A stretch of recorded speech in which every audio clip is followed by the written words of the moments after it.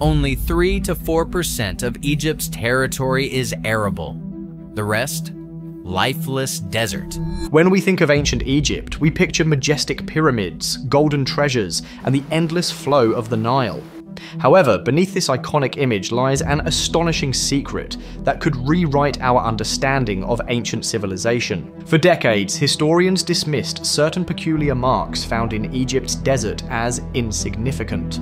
But modern technology has forced us to reconsider, revealing something extraordinary. Ancient Egypt may have intentionally released billions of tons of water into the desert. Everyone knows the pyramids of Egypt, towering symbols of ancient engineering. But what if we told you that their water projects were even more impressive? The result is a mystery buried beneath the sands, a discovery that could redefine everything we thought we knew about one of the world's most advanced ancient civilizations. The Sahara Desert is the world's largest and hottest desert, a harsh and lifeless place where no one would expect to find signs of human activity. For centuries, scholars believed the desert was a barren wasteland, untouched and ignored by the ancient Egyptians, who relied solely on the fertile Nile Valley but recent satellite imagery and archaeological excavations have uncovered evidence that contradicts this belief. Geological surveys and ancient traces in the desert suggest that the Egyptians might have redirected massive amounts of water from the Nile into the Sahara. This unprecedented feat of engineering may have transformed vast stretches of desert into fertile farmland, challenging our ideas of what the Egyptians were capable of. The Nile River was the foundation of Egypt's power. Every year, the river would flood, replenishing the soil and enabling the Egyptians to grow abundant crops. The river's floods were so reliable that the Egyptians divided their year into three seasons flooding, planting, and harvesting. This predictable rhythm helped them create one of the most stable and enduring civilizations in history. But the Egyptians didn't rely solely on the Nile's natural floods.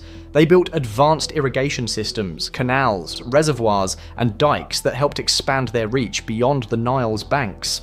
In the Fayum region, the Egyptians even linked the Nile to Lake Moeris, creating a massive reservoir to irrigate thousands of acres. These systems allowed the Egyptians to harness water with incredible precision, turning dry lands into productive farmland. They didn't just rely on the Nile's gift, they actively shaped and expanded its reach. Egypt's geography has always posed a challenge. The Nile Valley is narrow, and as Egypt's population grew, the available farmland couldn't keep up. This is a challenge Egypt still faces today, as more than 100 million people live on just a small fraction of the country's land. Today, urban sprawl, rising seas, and soil salinization threaten to shrink the fertile land even further. Thousands of years ago, the Egyptians faced a similar crisis. As their population grew, they needed more food, more space, and more resources. This led to ambitious projects, like digging deeper canals and building new reservoirs. In some cases, they didn't just work within the Nile's natural bounds, they turned to the desert itself, attempting to transform it into farmland. Recent discoveries in the Sahara Desert have revealed ancient signs of human engineering. Satellite images and ground penetrating radar have uncovered patterns in the sand, long straight lines, circular depressions, and networks of what appear to be irrigation channels. These formations suggest that the Egyptians may have diverted massive amounts of water into the desert, turning dry land into green corridors capable of supporting crops. Sediment samples from these sites show evidence of water flow, with silt deposits and traces of freshwater organisms. These findings suggest the desert was not always as arid as today. It once had rivers, canals, and reservoirs, all part of an extraordinary attempt to transform the land. Everyone knows the pyramids of Egypt, towering symbols of ancient engineering. But what if we told you that their water projects were even more impressive? The scale of this water project is hard to fathom. Geological evidence suggests the Egyptians may have released very large volumes of water into desert channels. Sediment fans and cutbanks indicate rapid releases. If anthropogenic, they imply engineered control. The Egyptians built sophisticated systems to direct the Nile's waters, channeling them into the heart of the Sahara. Using simple tools but advanced knowledge of hydrology, the Egyptians crafted channels and dams to carry vast amounts of water. They didn't flood the desert recklessly. They carefully managed the water to ensure it reached the intended areas. The result was the temporary creation of fertile land where none had existed before. This was no accident. This was an intentional, highly coordinated effort to reshape the desert. The Egyptians were known for their stone monuments, pyramids, temples, and statues, but it's their mastery of water that may have been their greatest technological achievement. Their understanding of materials and natural forces was extraordinary. For example, they understood how water could stabilize sand, making it easier to transport heavy objects like statues. This knowledge wasn't just applied to building monuments, it extended to their hydraulic projects. The Egyptians' ability to manipulate water and sand allowed them to construct irrigation systems on an unprecedented scale. They didn't just tame the Nile, they took on the desert itself, proving that even the harshest landscapes could be reshaped with knowledge and innovation. The Egyptians didn't just build with stone, they built with water. They recognized the Nile's power and harnessed it to expand their civilization, but they didn't stop there. They attempted to control the desert as well, transforming barren land into farmland. This ambitious experiment didn't last long. Many of the canals and reservoirs were eventually abandoned. The desert reclaimed the land, and the project faded into myth. However, the evidence of this grand experiment still exists, buried beneath the sands. Modern archaeology and technology have revealed traces of the ancient Egyptians' environmental feats. Their attempt to master the desert was a remarkably ambitious engineering effort for its time.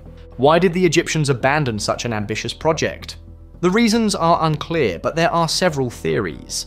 Some suggest climate change or political instability may have played a role.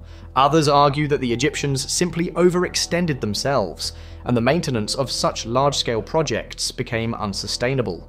Whatever the reason, the project ended, and the desert slowly swallowed the evidence.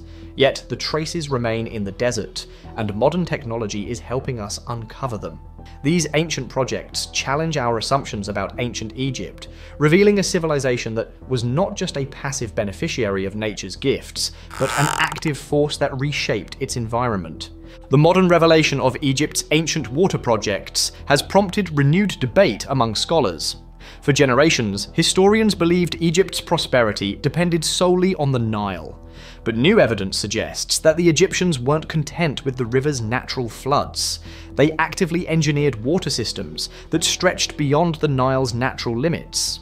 Inscriptions and wall paintings that once seemed ceremonial now appear to depict real water management systems. The ancient Egyptians were not just builders of pyramids, they were also engineers who sought to transform their environment to meet their needs. They weren't just surviving, they were thriving by actively reshaping their environment. Today, Egypt faces many of the same challenges its ancient ancestors did population growth, shrinking farmland, and a need for more resources. Modern projects, like the New Delta Project, which aims to create new farmland in the desert, echo the ancient attempts to reshape the land. The parallels are striking. Ancient Egypt's bold experiment in desert reclamation is a reminder that even the harshest landscapes can be transformed with knowledge, vision, and resilience. As Egypt once again attempts to tame the desert, it is not just repeating history, it is building upon it. Ancient Egypt's bold attempt to master water in the desert reminds us that even the harshest landscapes can be transformed, but only with balance, foresight, and resilience the legacy of Egypt's ancient water projects continues to resonate. The desert is no longer just a symbol of death and desolation, it is a reminder of humanity's ability to reshape the world, and the lessons of ambition, innovation, and environmental balance. If the ancients dared to challenge the desert with billions of tons of water, could modern Egypt finally succeed where they once failed? Share your thoughts in the comments. Thank you for watching this video with us, and catch you in the next one.